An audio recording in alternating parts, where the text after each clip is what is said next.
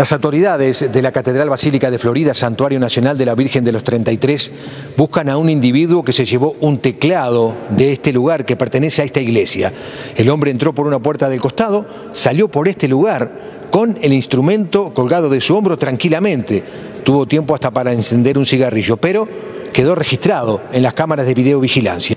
Es algo de la comunidad no es tanto el valor económico, material, sino también que es algo que lo sentimos de la comunidad porque alguien lo donó y era para el servicio de toda la comunidad. Los sacerdotes de esta iglesia hicieron circular el video por las redes sociales para ver si alguien te reconoce al individuo.